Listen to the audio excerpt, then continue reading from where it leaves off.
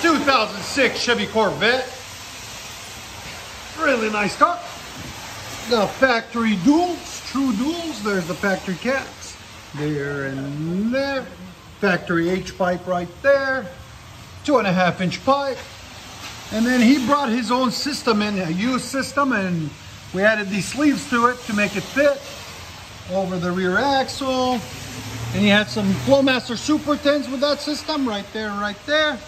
So we said we'll let you guys hear it, why not? And it came with these tips right there. Quads. There's the old system that we cut off, that we took off, and put in its place. I had to put on some custom hangers and things of that sort to make it all fit. But we got it to work for them, as you guys can see right there. We'll let you guys hear it in a second. Hope you guys like it.